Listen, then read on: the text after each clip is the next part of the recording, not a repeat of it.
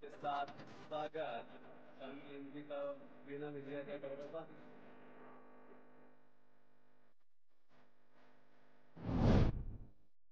केंद्र में भारत और क्या पूरी उत्तर नदी के क्या भारत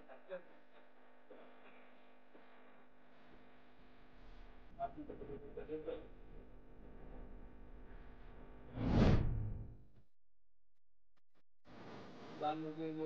भारतीय से करेंगे संवाद पीएम मोदी के दौरे से वहाँ रह रहे भारतीयों ज़बरदस्त उत्साह।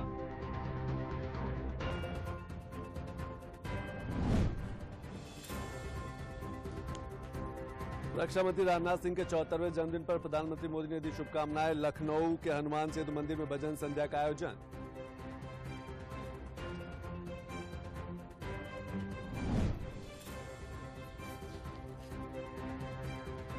मुख्यमंत्री योगी आदित्यनाथ ने लखनऊ से सांसद और देश के रक्षा मंत्री राजनाथ सिंह को उनके जन्मदिन पर दी हार्दिक बधाई, उनके उत्तम स्वास्थ्य, सुदीर्घ और सुयशपूर्ण जीवन की कामना की।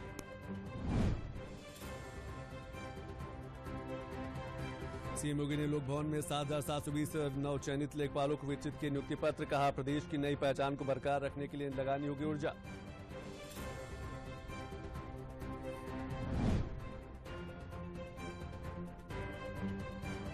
मुख्यमंत्री योगी आदित्यनाथ ने आज पीलीभीत और लखीमपुर खीरी में बाढ़ प्रभावित क्षेत्र का किया हवाई निरीक्षण, सीएम योगी ने बाढ़ प्रभावित लोगों से की मुलाकात पार्टी राहत सामग्री।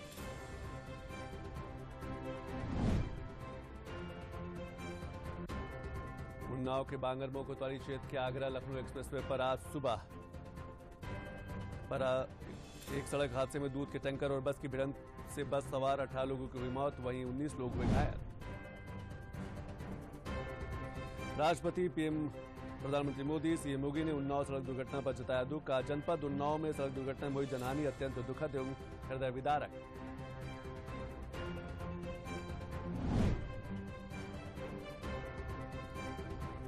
उन्नाव में हुई दुर्घटना में मृतकों के परिजनों को प्रधानमंत्री राहत कोष से दो लाख रुपए की आर्थिक सहायता।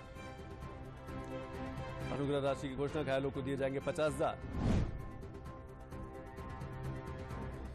सीएम योगी ने पेड़ लगाओ, पेड़ बचाओ, जन अभियान 2024 की समीक्षा की। उन्होंने कहा कि एक पेड़ माँ के नाम अभियान के तहत यूपी को छत्तीस दशमलव चार छह करोड़ से अधिक पेड़ लगाने का लक्ष्य मिला है। इसको हर हाल में 20 जुलाई को पूरा करना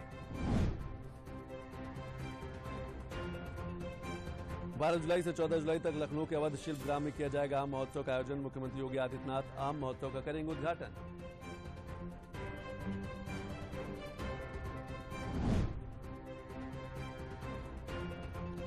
लखनऊ मेट्रो की east west corridor Charbagh के से वसंत कुंज के डीपीआर को नेटवर्क प्लानिंग ग्रुप की मिली मंजूरी। वह लखनऊ मेट्रो का फ़ेज़ टू प्रोजेक्ट है, जिसकी कुल लंबाई ग्यारह दशमलव एक छह पाँच किलोमीटर है। इसमें कुल बारह स्टेशन होंगे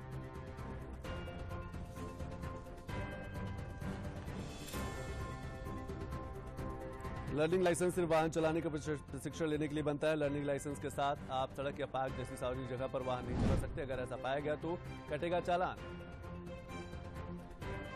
उत्तर प्रदेश में हाइब्रिड वाहनों पर नहीं लगेगा रोड टैक्स। योगी सरकार ने स्ट्रांग हाइब्रिड व प्लग इन हाइब्रिड कारों पर शत प्रतिशत रोड टैक्स के माफ़ डेढ़ से दो लाख रुपए तक सस्ते हो जाएँगे हाइब्रिड वाहन।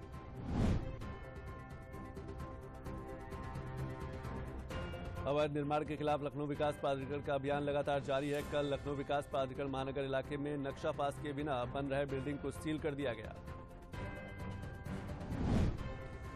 कौशाम्बी ज़िले में दो अलग अलग स्थानों पर बारिश के दौरान आकाशीय बिजली की चपेट में आने से एक महिला समेत तीन की हुई मौत। वहीं हादसे में अठारह लोग झुलस गए, जिनका इलाज जिला अस्पताल में चल रहा है।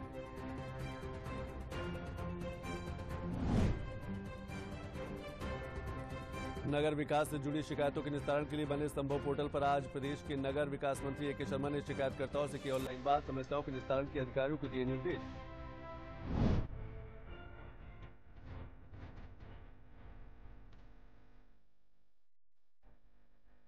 प्रदेश के कई हिस्सों में से एक सप्ताह से हो रही मूसलाधार बारिश और नेपाल से छोड़े जा रहे पानी के कारण गंगा रामगंगा शारदा, राप्ती, सरयू और गंडक नदियाँ उफान पर है। कई जनपदों में प्रशासन ने बाढ़ का अलर्ट किया जारी।